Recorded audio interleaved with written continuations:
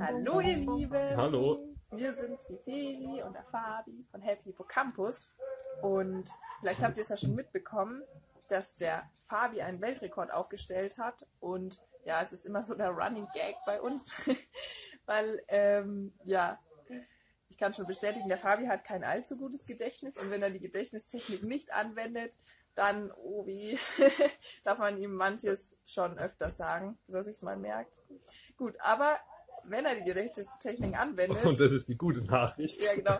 Dann schafft er sogar einen Weltrekord aufzustellen. Und ja, das bedeutet für dich, ja. Alles ist möglich. Alles ist möglich. Und ja, du kannst dein Gedächtnis nur pushen, wenn du sie auch verwendest. Und Was aber nicht heißen soll, dass wenn du eh schon ein gutes Gedächtnis hast, nicht auch trotzdem von den Techniken wirklich auch nochmal sehr gut profitieren kannst. Genau. Und heute wollte ich den Fabi mal so ein bisschen interviewen, wie das denn alles kam mit dem Gedächtnisweltrekord. Erzähl doch mal, Fabi.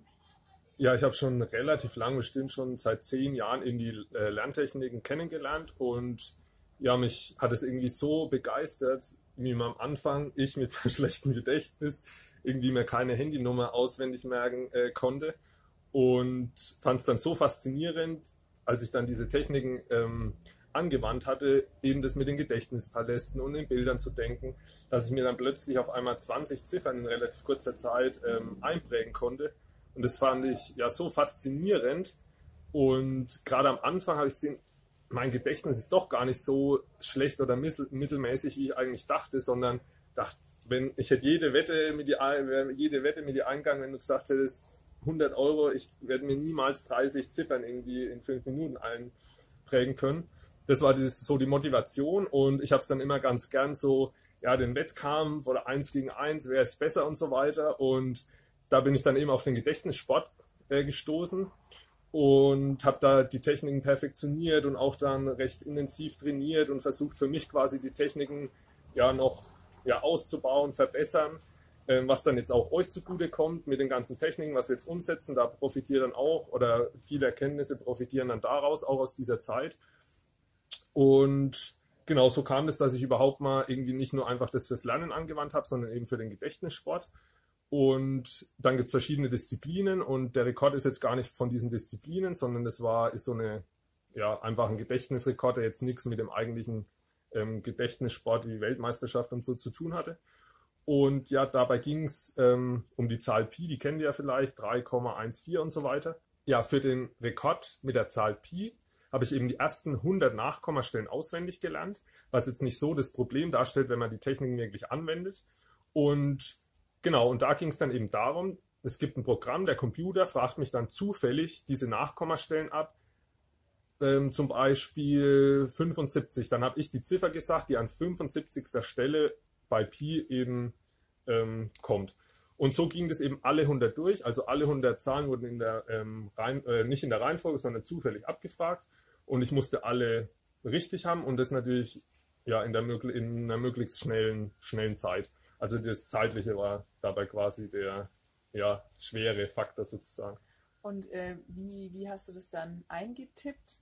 Also dein, deine Antwort? Oder ja. Genau, also zum einen musste ich es am Laptop einfach an der Tastatur im Ziffernblock einfach schnell eingeben, was natürlich mit dem Ziffernblock schneller geht, als wenn ich das irgendwie ja, sagen müsste. Und genau. Ja, und ähm, hat es dann sofort funktioniert, so auf Anhieb? Oder wie, oder, so, ja. ja. wie schnell warst du denn dann? Achso, ja, wie schnell war ich? Ich weiß gar nicht, ehrlich gesagt, genau auswendig. Stand über mein Haupt, aber es waren so 34, 35 Sekunden, glaube ich. Als ihr seht, da habe ich die Technik nicht angewandt.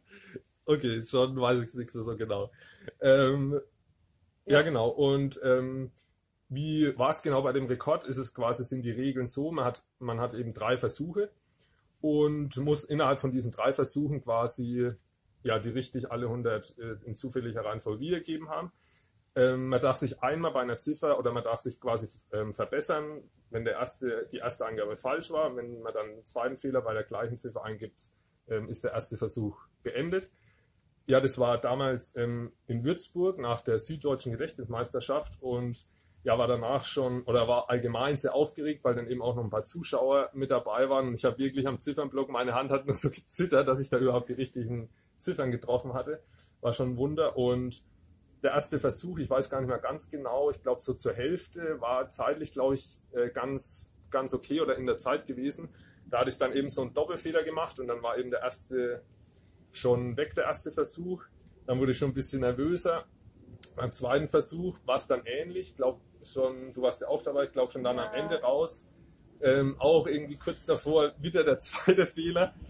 Oh dann ich ja, habe so mitgezittert auch. Oh, ich stand dort, habe so Daumen gedrückt und oh, es ja. ging um den dritten und letzten Versuch dann. Ja, da hat mir dann echt die Hand gezittert. Ich dachte, okay, jetzt ruhig bleiben. Und die Zahl, wo ich dann eben vergessen hatte oder falsch hatte, zweimal habe ich überlegt. Ich wusste dann nicht mehr irgendwie in dem Sinn, mir ist auch so aktiv gar nicht eingefallen. Und bin dann eben sehr nervös in den dritten Versuch, habe gedacht, okay, ich fange jetzt einfach an, weil es eben so schnell und automatisiert geht, habe ich dann gehofft, wenn die Zahl kommt, dass sie dann einfach automatisch wieder da ist. Und ja, habe den dritten Versuch gestartet, dachte schon, ja, mir hat so nebenher eigentlich fast gedacht, oh shit, oh shit, hoffentlich geht es gut. Und die Hand hat gezittert und ruhig bleiben, okay, und schön weiter. Und ich hätte nicht sagen können, ob es dann gereicht hätte oder nicht, ob ich langsam, schnell war. Habe dann irgendwie die ganze Zeit gedacht, hoffentlich kommt jetzt nicht die Zahl, wo ich gerade eben nicht wusste und dann ja. vielleicht wieder zwei Fehlversuche eingebe.